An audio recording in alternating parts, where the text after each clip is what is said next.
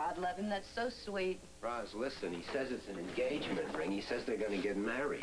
Let him have his dream. Give him the money and don't spoil it for him. Rosalind, you seem to be forgetting how your son gets when he makes up his mind to do something. Roger, you're a dreamer. You get these romantic ideas without realizing the consequences. For instance, what kind of a ring do you think you can buy for $10? The ring is $300. The $10 is just the down payment, then it's $10 a week after. $10 a week from what? You get into time payments, Roger. You have to sign a contract. You're 21 now. You're responsible. Where are you going to get this money every week? Do doing extra chores around here and helping out as a teacher's aide. Okay, Roger. You like the girl and you want to buy her I a love ring. Virginia, and I'm gonna marry her, Dad. Okay, someday you're going to marry Not her. Not someday. Some some days make believe. This, this is for real. Suppose it was tomorrow. You've never lived on your own, much less try to support somebody else. A married man has to have a job. Okay, I'll get a job. You have to learn about paying bills, making a budget, cleaning your clothes, buying your food, cooking your food, learning how to get around the city, getting to work on time, rain or shine. A married man is loaded down with responsibilities. So is a married woman. And when Virginia and me do all that stuff together, it's not so tough. Uh, okay, can I have the 10, please? Where, where's the street that goes to the little picture?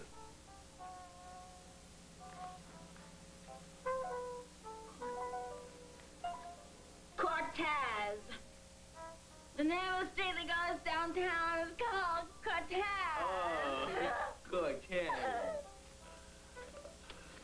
Oh, you better write it down so we don't forget it.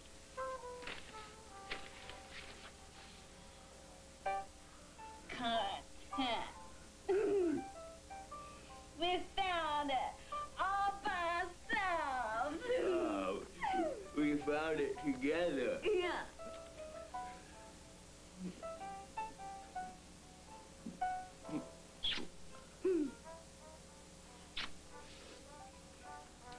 Roger, now that we're engaged,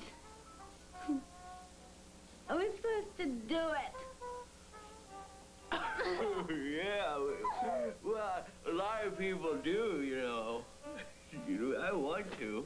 I want to a lot.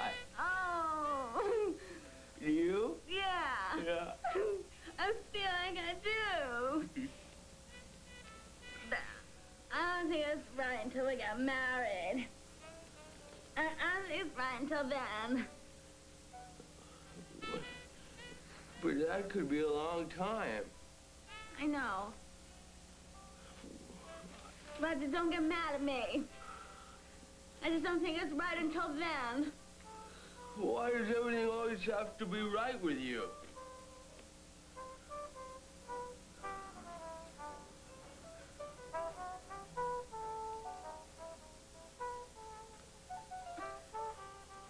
Sorry, Bunny. I didn't mean it.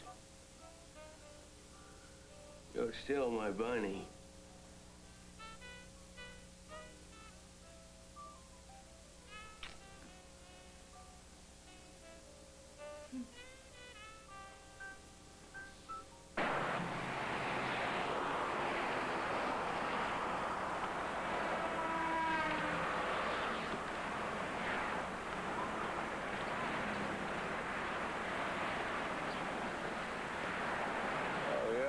Pico.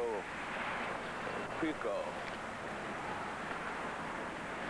Oh, yeah.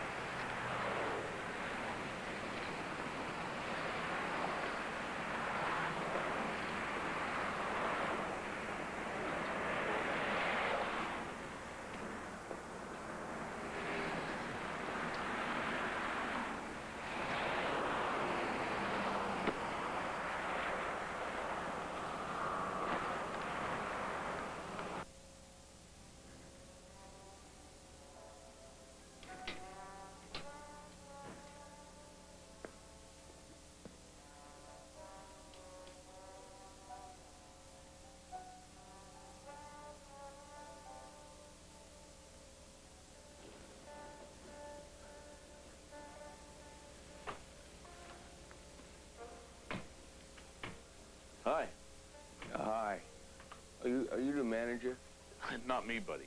He's down there. Okay, thank you.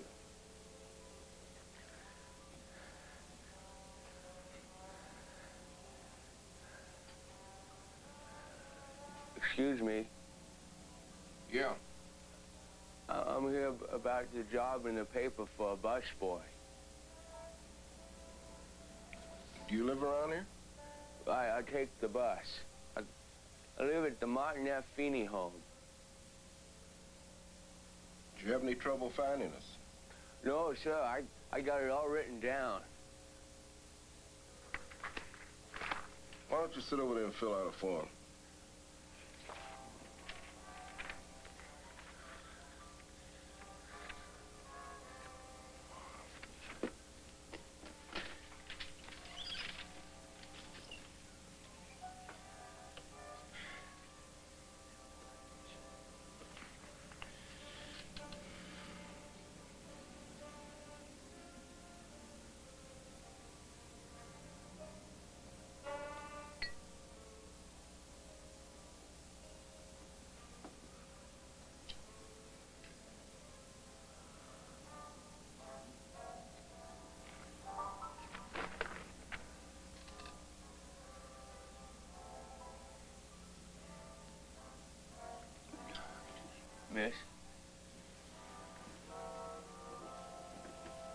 Yes, sir.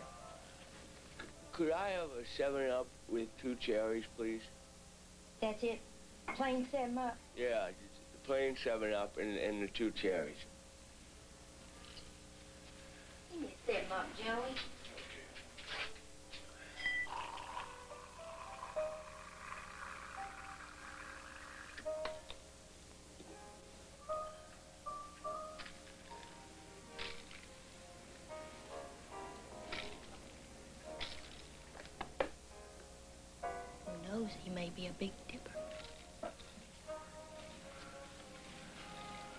50 cents. Will there be anything else? Come in. What does previous employer mean? Well, if I help you fill in this form and you get the job, you're gonna be my busboy. Can you cut it, kid? Oh, yeah, I can cut it. I have to. Well, come on. Let's get to work.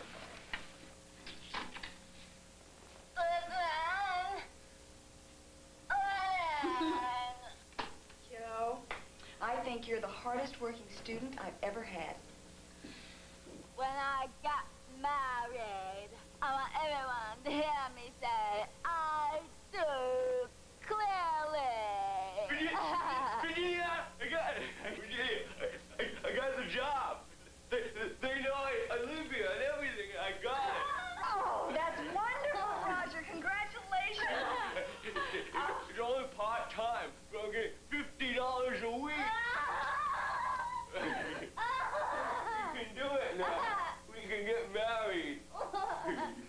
Jenny Ray, the family only wants what's best for you. This is too soon. But Aunt Katie, Roger and I have known each other for over a year now. You're too young. I'm 20. You told me that's how old my mother was when she got married. Jenny Ray, that's different. Your mother wasn't... Was what? Jenny Ray, you know what I'm talking about. Roger, your mother and I are thrilled that you got a job, but you haven't worked yet. Tell them if it's true love, it can wait. Why? What for?